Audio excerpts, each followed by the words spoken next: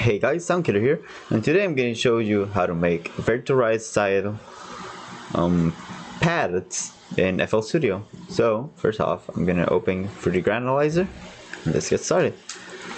So, I'm going to be working off um, Virtual Riot's um, live stream where he did some um, piano pads in in Padshop so I'm gonna be focusing on that and I'm gonna use the same sample he did which was the from Tokyo Soundscape piano. So FL Studio has a built-in granulizer and it's really powerful. So you can do pads like that. It won't sound the same as Virtual Riot but you can do some pretty amazing good sounding pads and I'm gonna show you how real quick. So first off I'm gonna go here to my sample section. I'm gonna shorten the length of the sample so that I can only use this sample, this first shot, which is in D minor. So I'm gonna go here. We are in D, so as you can hear, as you can hear, we're in D. So let's fine tune these knobs a bit to get him sounding very patty. So first of all, I'd like to turn off the randomness to 100%. What the randomness does is that it selects a random place where it's going to start. So it just randomly moves between the sample and you can just randomly hear different parts of the sample. That the hold, what it does is that it holds the sample, how long will the sample be playing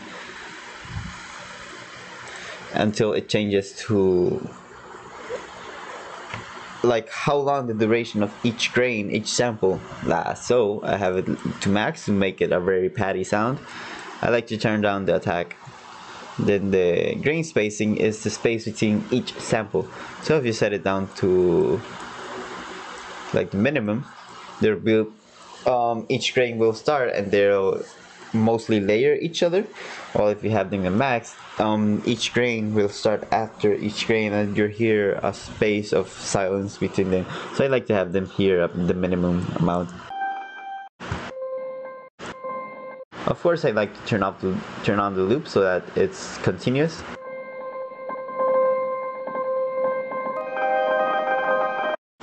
and it's already starting to sound like a pad. The next thing I like to do is turn on the pan to 100%. This basically gives it a stereo sound.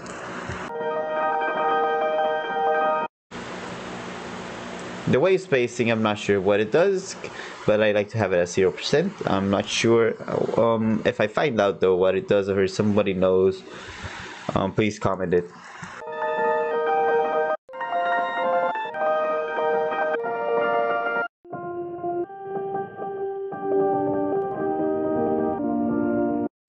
So I like to also go here into the, the envelope mode.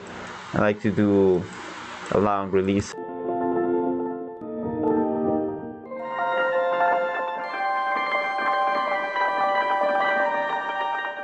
Can also like change the pitch in which the sample is just by right clicking here to a different region. For example, if you go over here to C6 or C7, it's gonna lower the pitch one octave, while if you put it here in C4, it will raise it one octave. I like to have it here.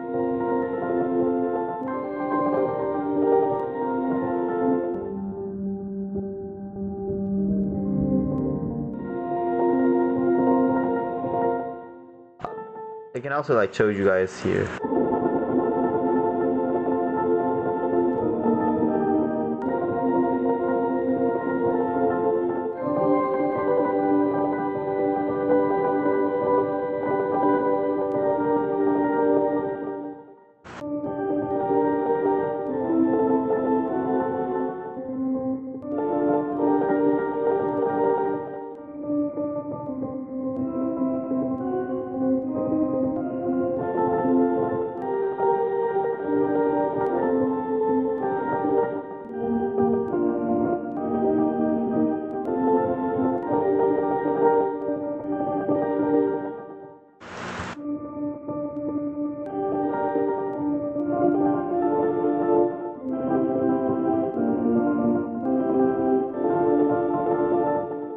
Can also like add some effects to this. For example, we can just like give it a slight OTT to this.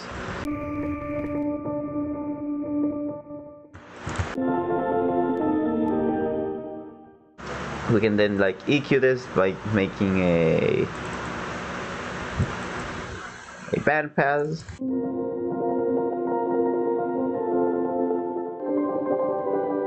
Then just add reverb just to make it more spacious.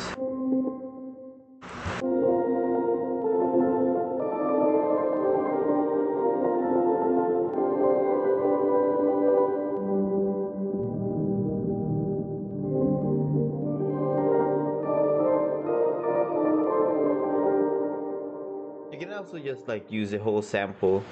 If I go here and just clone this.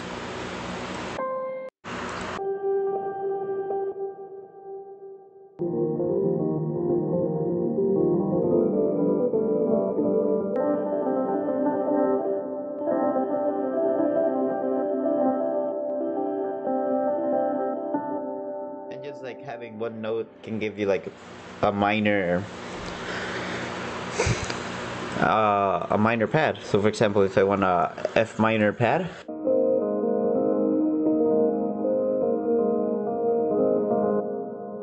and there we go. So, but if you like want to make the chord yourself, you can just do what I did here by adjusting the length. So we have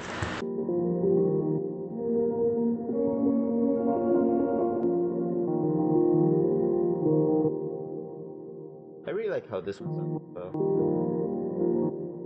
And this works with any tonal samples. If, for example, if I don't want that one and I want this one, which is in F sharp, I'm just gonna go here.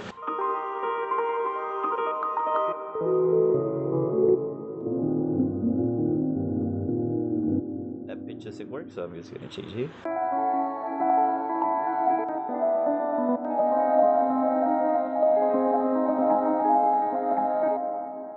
And I can just do the sample selection.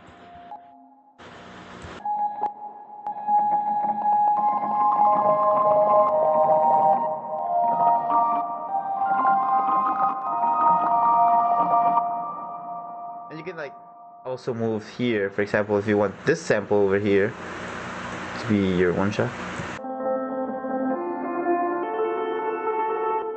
You can just like move the sample start. Just to choose a different area where you want the sample.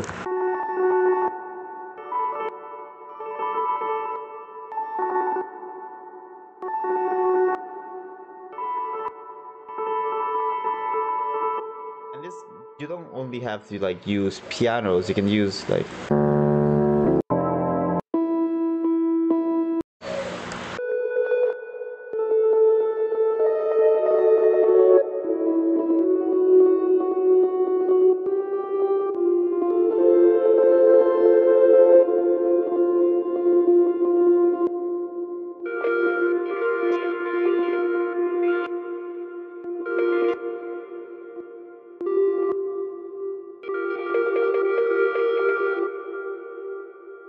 you can do like so many different kinds of sounds with this like technique. And you can also like just use different kinds of sounds like for example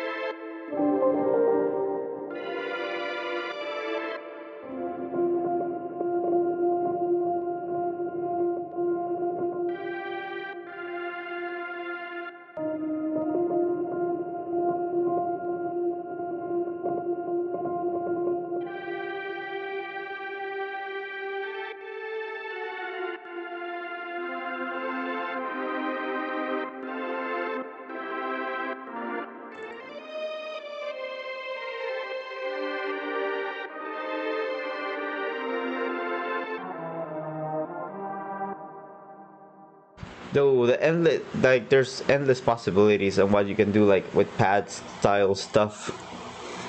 So and all that is being done with just like FL Studio stuff. So for example I don't need um, Pro Q3 I can just do like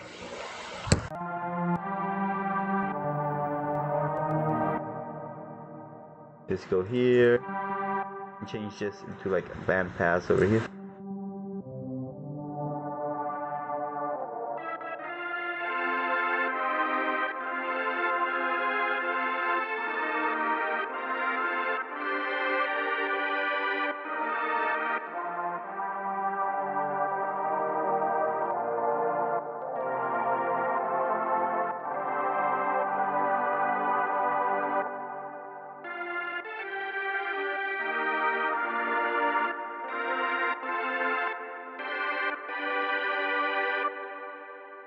and just have something like that for example.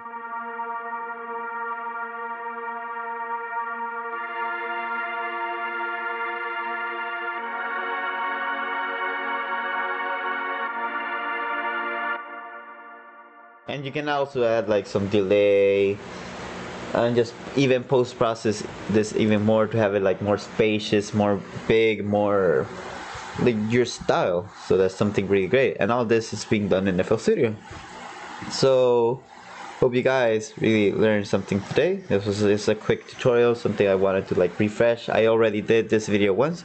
It's basically a re-upload if you must. But I think this is very useful. I think people should know about more things about their DAW and use for example things that it's in their DAW for example uh, Fruity Granulizer is available in the producer edition and I'm, I'm not sure. I'm pretty sure it's also available on Fruity edition so that's something like yo you should definitely just use it because it's there. So I think I'm trying to encourage people to just like use what's in their DAW instead of like spending so much. For example on um, something Virtual Riot has which is Padshop Pro. Instead of buying Padshop Pro you can do those same style of pads just in FL Studio. So yeah this was my video. Hope you guys found it um, useful. Hope you guys learned something new today. And until next time